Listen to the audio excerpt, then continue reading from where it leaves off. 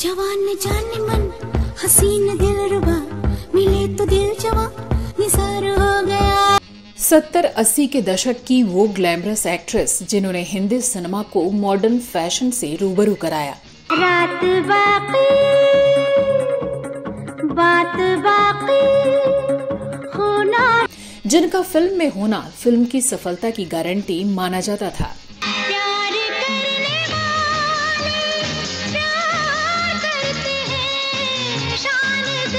Bold beautiful बिंदास और बेहद स्टाइलिश। ये तो पहली मुलाकात है। दो चार मुलाकातें और होंगी। तो रेनू की पर्सनालिटी की और तहें खुलेंगी आप पर। जो टाइम्स मैगजीन के कवर पर आने वाली पहली इंडियन एक्ट्रेस थी। मैं तो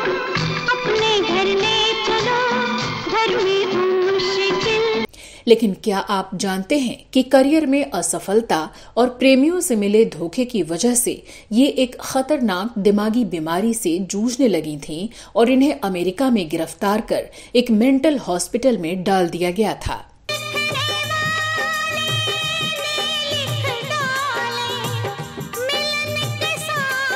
क्या आप मानेंगे कि इस अदाकारा ने बॉलीवुड के महानायक अमिताभ बच्चन के साथ साथ और भी कई लोगों पर अपनी जासूसी, जान से मारने के साथ साथ और भी कई गंभीर आरोप लगाए थे, जिससे सनसनी मच गई थी।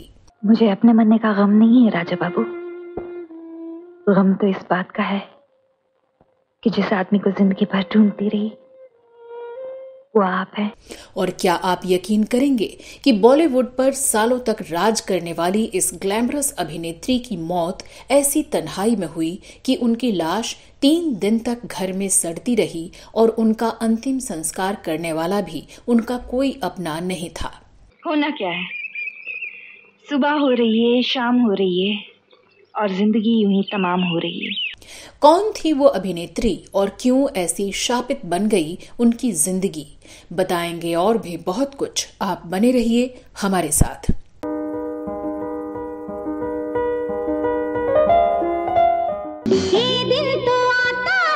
तो तो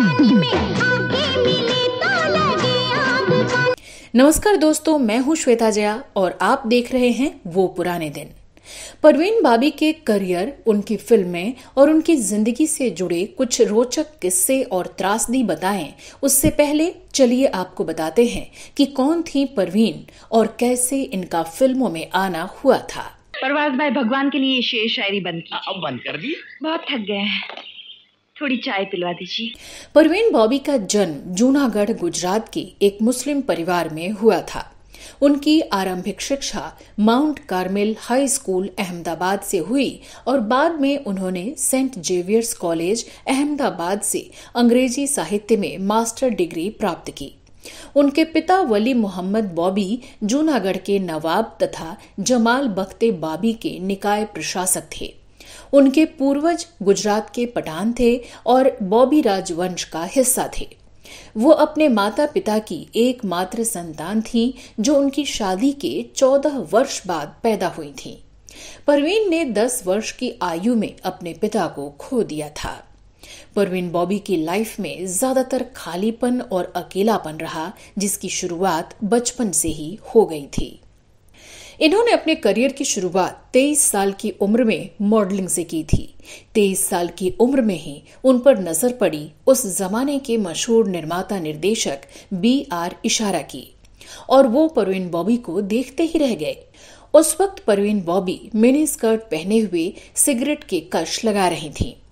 खूबसूरत और फ्रैंक परवीन बॉबी को इस तरह देखकर उन्होंने उन्हें अपनी फ़िल्म का ऑफ़र दे डाला।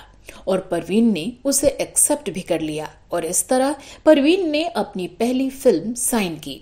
और वो फ़िल्म थी 1973 में आई चरित्र। इस फ़िल्म में उनके हीरो थे क्रिकेटर सलीम दुरानी साहब। फ़िल्म तो बुरी तरह से फ्लॉप हो गई, पर सिल्वर स्क्रीन पर बोल्ड और ब्यूटीफुल अदाकारा परवीन बॉबी को देखकर लोग इनके दीवाने हो गए। ये दुनिया, ये समाज बेबस को भी माफ़ नहीं करते। किसी मजबूर के साथ भी रियायत नहीं करते। गिरावट की हद कौन सी है? मैं वहाँ से भी गिरना चाहती हूँ। चाहे वो निर्माता हो निर्देशक हो या दर्शक इनके वेस्टर्न लुक ने सभी को दीवाना बना रखा था। Bravo bravo!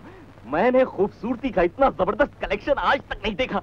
Seven eight nine ten सभी कुछ तो है यार। पूरी दुनिया परवीन बॉबी की दीवानी थी और परवीन दीवानी थी डैनी डेंजोपा की। दोनों एक दूसरे को डेट करने लगे।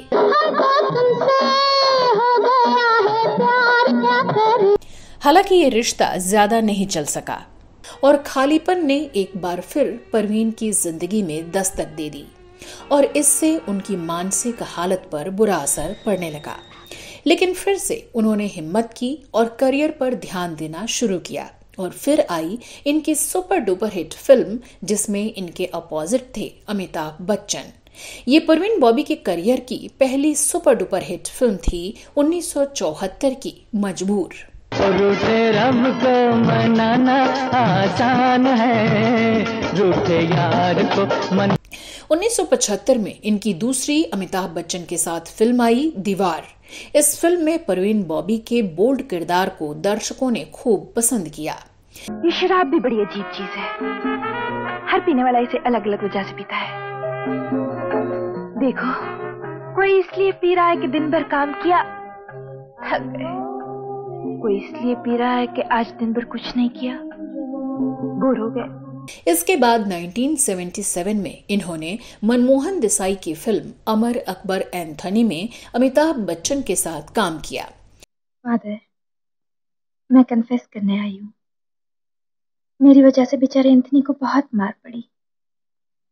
वो वो मुझे बहुत अच्छा लगता है। इस बीच इन्होंने काला पत्थर और सुहाग में शशि कपूर के साथ भी काम किया। कपड़ों को पॉलिश कर दिया। जूतों का आमलेट बना दिया और नाश्ते को अस्त्री कर दिया। नहीं नहीं। गड़बड़ है। 1981 में परवीन बॉबी ने क्रांति और कालिया जैसी कुछ और फ़िल्मों में काम करके अपना लोहा मनवाया। जब से तुमको देखा देखा ही करते हैं। जब से तुमको देखा देखा ही करते इनके डांस को देखकर लोग दीवाने हो जाते थे। क्रांति फ़िल्म का ये गाना कौन भूल सकता है? मारा मारा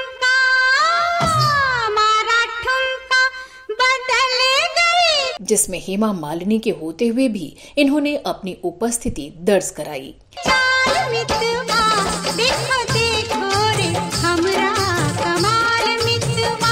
इसके बाद इनकी फ़िल्म आई नमक हलाल जो कि सुपरहिट साबित हुई। परवीन बॉबी एक ऐसी अदाकारा रही जिन्होंने भारतीय फ़िल्म इंडस्ट्री की सूट और साड़ी पहनने वाली अदाकाराओं के अटायर को चेंज करके दिखा दिया। भारतीय फ़िल्म इंडस्ट्री की एक्ट्रेसेस की इमेज बदल कर रख दी। इन्होंने हीरोइन को बोल्ड और ग्लैमरस कैसे दिखा जाता है वो सिखाया और बोल्ड और ग्लैमरस अदाकारा की एक नई परिपाठी शुरू की। इनकी प्रसिद्धि भारत ही नहीं, पूरी दुनिया में फैल गई। साल 1976 में मशहूर मैगजीन टाइम ने अपने फ्रंट कवर पर इन्हें जगह दी। परवीन बॉबी टाइम मैगजीन के फ्रंट कवर पर छपने वाली पहली बॉलीवुड की हस्ती बनी। फिर साल आया 1983 जो परवीन बॉबी को सिल्वर स्क्रीन से हमेशा हमेशा के लिए दूर ले गया। वो अमेरिका के कैलिफ़ोर्निया में जाकर इंटीरियर डिज़ाइनर के तौर पर काम करने लगी और इसके पीछे वजह थी उनके मन की अशांति और ज़िंदगी का खालीपन। और ज़िंदगी में मिले धोखों का भी उन पर असर हुआ था। कुछ लोग कहते हैं वो अंडरवर्ल्ड से परेशान थी इसलिए वो चली गई। कौन हो तुम? सामने क्यों नहीं आती? राजा अब तक ज़िंदा क्यों है? इसलिए कि मैं उसे नहीं मार सकती और नहीं उसे मारूँगी।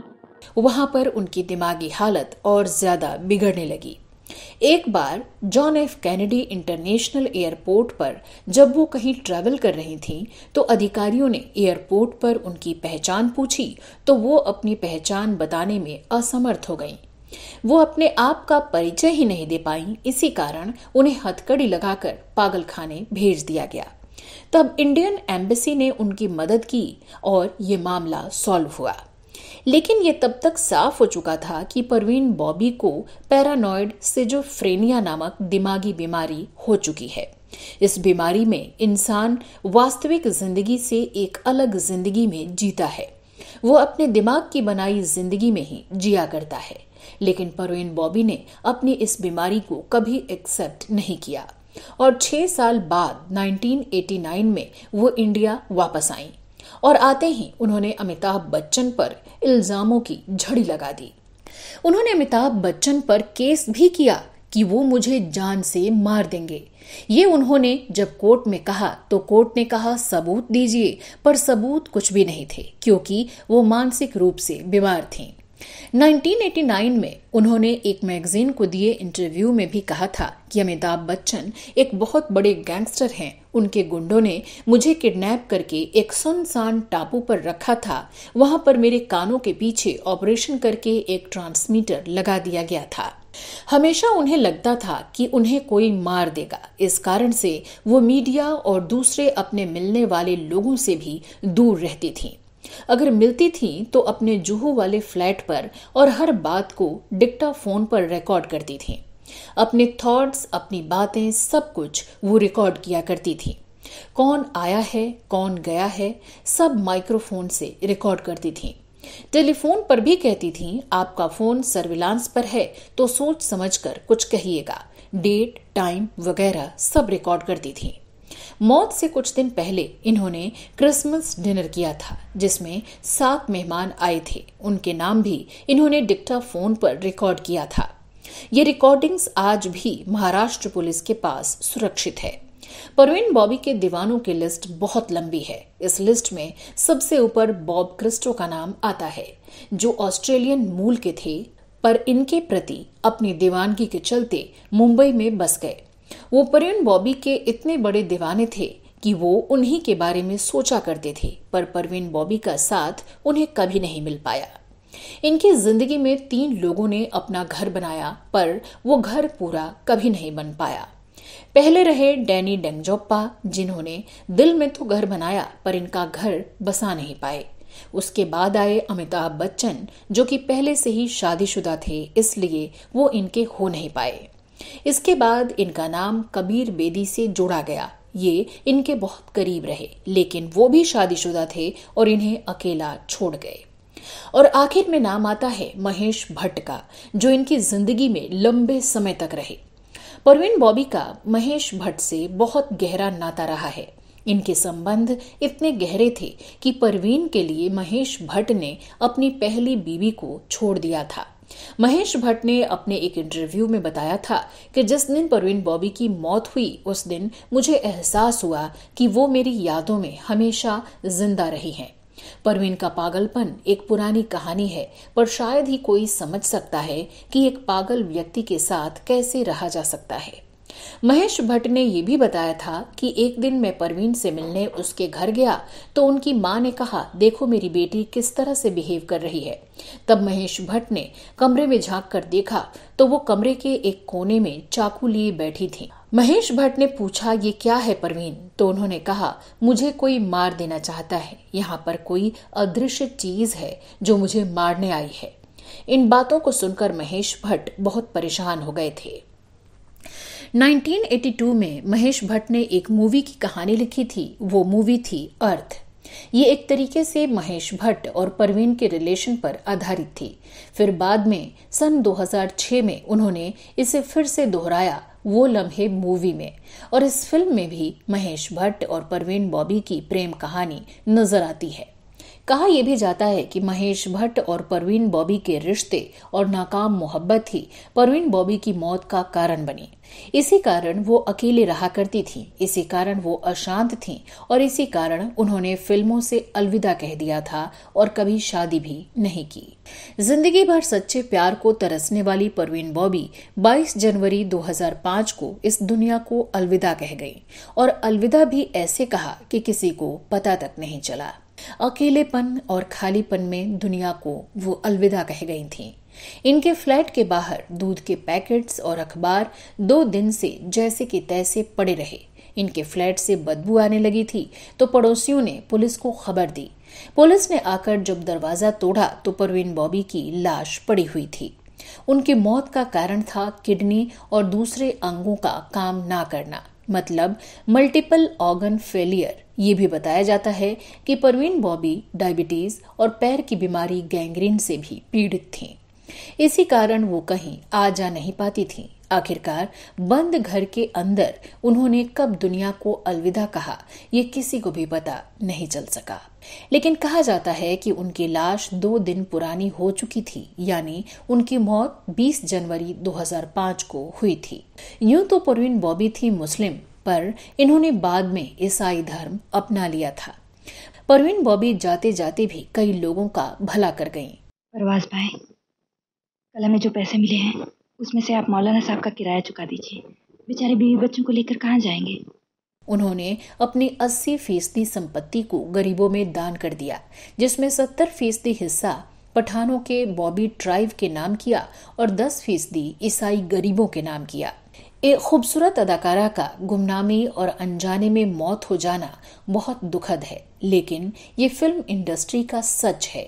जब किसी का सूरज उगता है तो लोग उसे सलाम करते हैं और जब वही सूरज डूबने लगता है तो उसके आसपास कोई भी नहीं दिखता।